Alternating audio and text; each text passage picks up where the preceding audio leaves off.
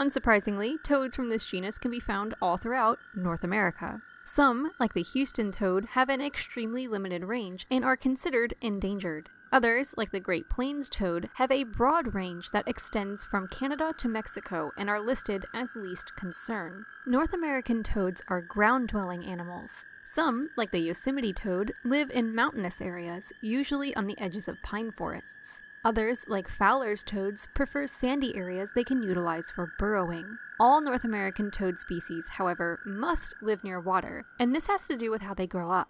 Before they become the toad shape we're all familiar with, North American toads must first undergo metamorphosis from their larval forms, which are commonly known as tadpoles. These toads can live for more than a decade. However, most species of North American toads won't start breeding until they're at least three years old, though Houston toads start at about one year of age. Breeding seasons typically fall within the spring and summer months in North America, and males will show up to the breeding sites before females so they can secure the best spots from which to sing. All species of North American toads have their own distinct voice, but most can be referred to as a loud, shrill call that sounds something like this.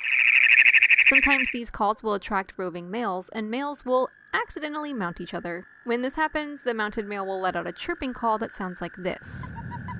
This noise will let the other male know he's made the wrong selection. When a male finally does find a receptive female, he'll hold on tight and she'll make her way to the water. North American toads generally lay their eggs in temporary pools, preferring areas without large fish who could prey on their young. Though ponds and lakes work too. The eggs are laid by the female in long strands that can number in the thousands. While she's laying eggs, the male gets to work fertilizing them. Once they're finished, the parents leave behind their babies forever. North American toad tadpoles hatch within two weeks and metamorphose into adults within two months. At full size, the average North American toad is 3 inches long. However, this genus contains the smallest living toads in North America, the oak toads, who average barely more than an inch in length. As they grow, North American toads shed their skin, and, not wanting to let that perfectly good skin go to waste, they eat it. This is actually pretty common among reptiles and amphibians. As adults, North American toads tend to be nocturnal, though some species, like the Yosemite toad, are more active during the day. Either way, when they aren't active, North American toads will burrow underground or find a nice rock under which they can hide. When they are active, North American toads may be on the lookout for food.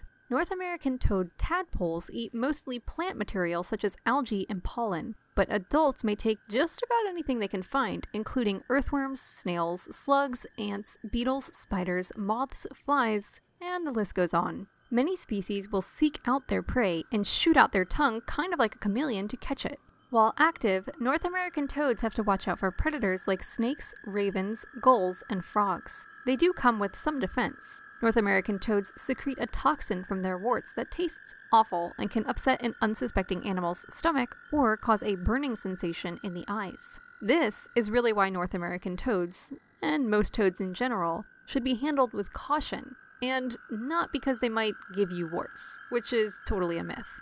For more facts on North American toads, check out the links in the description. Give a thumbs up if you learned something new today, and thank you for watching Animal Fact Files.